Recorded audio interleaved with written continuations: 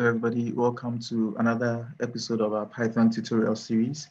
And in today's episode, we'll be addressing a question that was asked by one of our subscribers. And um, the subscriber wanted to know how we can make use of our Python coding snippet 004, which was for the, was supposed to be a spatial analysis, but in the end, we used the Mann-Kendall tool to deduce the slopes. And so what we are doing in this session, which is based on the question, is to find out how to use that also not just on the slopes, but then on the, the Kendall test itself. And you know, with the Kendall test, you are likely to have three outputs, either it's increasing, there's no trend or no change, and then, or it's decreasing. So what we need to do in the first case, we maintain same code as before. In this case, we are changing slope to trend. And once we are done with that, um, we also want to use just, um, want to make use of a tweak in a certain aspect. Okay, but you, okay, before that, let's just maintain this. Maybe I'll explain that later. So you have the trend, the possibility of trends are likely to be increasing, decreasing, or no trend. Okay, so after running all the other parts in bits, or you can run everything together, depending on how, you know, where you interest are. And when we are done, while the other is going on, we would also have to then call out all the outputs and say for all the increasing outputs.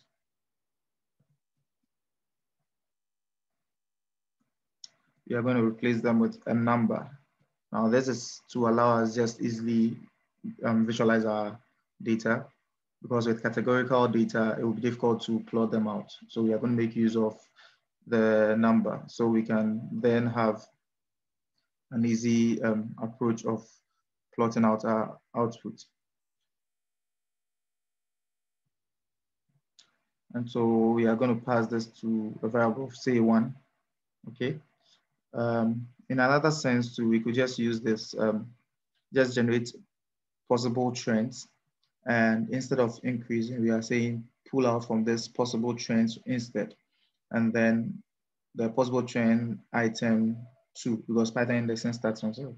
And this is just the same as line 34, trying to say that wherever the output is increasing, we should replace it with one.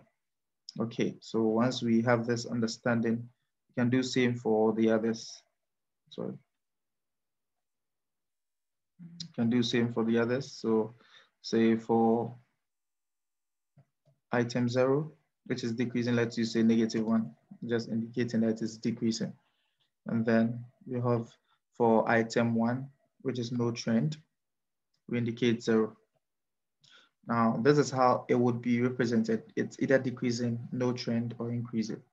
So once we have that, since we'll be changing this into numbers, that's why I indicated that in this case, line 27, we just want to make use of, say, a huge negative number I'd say minus 999 or 9999, something that would allow it not to be um, seen.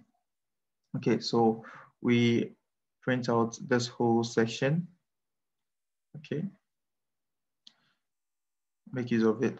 Now, we wouldn't need line 42 in this case because we wouldn't set an attribute of units because the trends are unitless. Okay, so ignore that and then beyond this,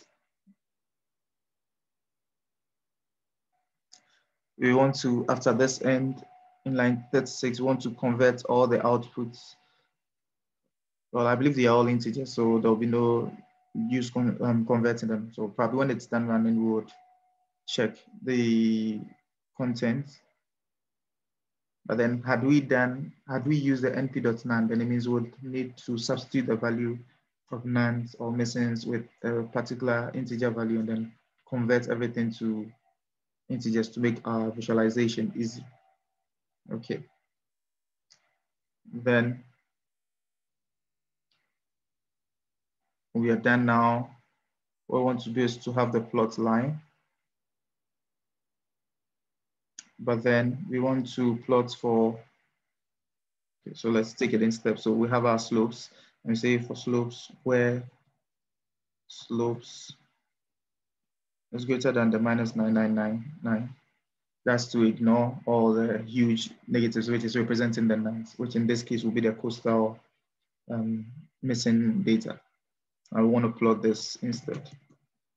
And we wouldn't want to make use of the color bar because that would give us a color bar of, you know, increasing ranges, but then these are just specific values, you know.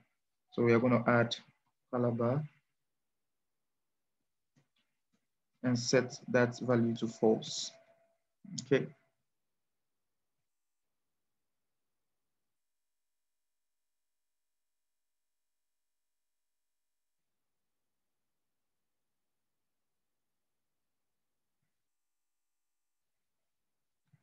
And then we would create the levels in here.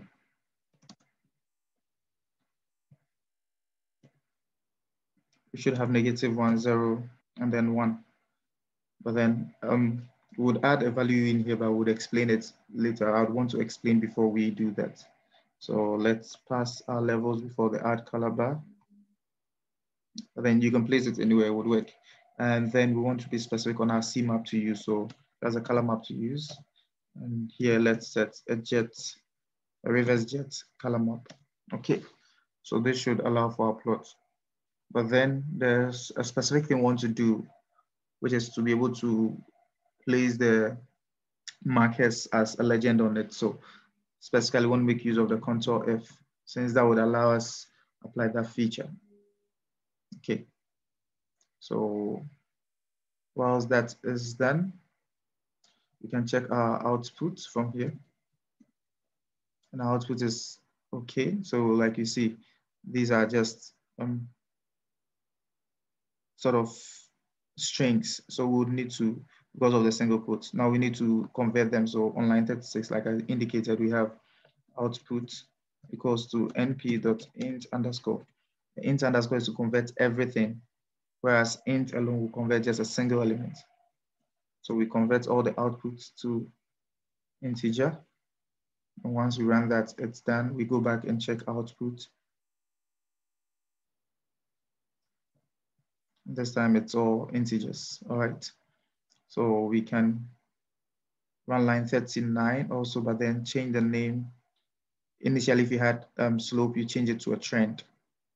And that's it. So we change this to a trend and, and we have that. We can plot out the slopes. And then there's what you see for your plot. right? so these are indicating particular in this case, they are actually not slopes, they are trends, but we are using the name slope because we, um, okay, so let's just, to make it easier, let's just change this to trends, okay? And then we do same over here. So this is indicating our trend values. Okay, so we have trends instead. So these are trends. Now, let's try trend equals to zero which is for no trend alone. Because from here, that's, we said for it to be zero, we are using element one, which is no trend. So if we run this, we see where there are no trends. And then we try for decreasing trend, yeah, which is negative one, because that's the zeroth element, which is decreasing. So if we run that, notice there are no decreasing trends. We try the increasing trends. Then we notice from here that almost everything is increasing. All right, so with that out of the way, we move on to the next step, which is to sample out the legend elements to help us create our legend. So first, let's assign this to a variable. And then we call the artist and then also the labels. The labels are for the indicators and then the artists are for um, the markers. And then we call out of this CS, which is what we've assigned the whole plot to, we call the legend, the legend elements. So if we run this, we should have the legend elements, which is the artist and the label. So we see what the artists contain, that's it. That's it, they are all patches of rectangles. And we see what the labels contain.